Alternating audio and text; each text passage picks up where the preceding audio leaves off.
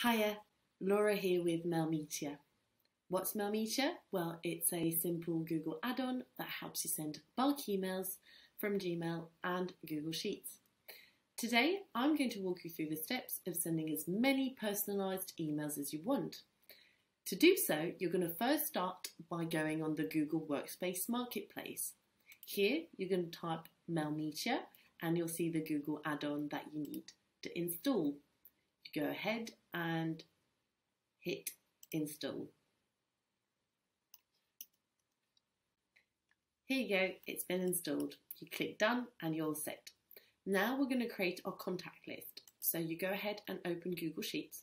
Here you're going to type each category in each column. Um, might it be name, email and company and in the rows you're going to hit the details. So we've already created our list, so we're going to go ahead and import it by hitting File, Import, and selecting the contact list that we want. So now that your list is ready, you go ahead and click on Add-ons, open Mail Mailmeteor, and here we're going to be creating the email that you want to send out to all your, all your recipients. So to do so, you go and hit Create a New Template, to save time, we have already created it. So don't forget to start with the subject line. So that would be welcome to Mailmeteor.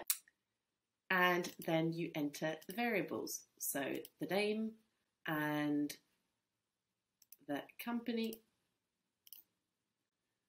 And here you can save template. All right, so now your template is ready. You can hit the preview emails button to see how it's going to look like. So see for Sally, if you hit the arrows here, you can see it for every single recipient. Just a click and you've sent it out. So before we part, I'd like to share a few tips on how to avoid the Gmail spam filters. If your Gmail account is new, or if you haven't sent a lot of emails recently, then we highly recommend warming up your account by sending emails progressively instead of all at once. When you do that, it's going to help you avoid getting flagged as spam. We also encourage you to keep formatting as simple as possible and maintain your email activity as normal as possible. More information can be found on Gmail's Help Centre and you can find the link in the description. I hope you enjoyed this tutorial on how to send bulk email easily with Mailmeteor. Bye!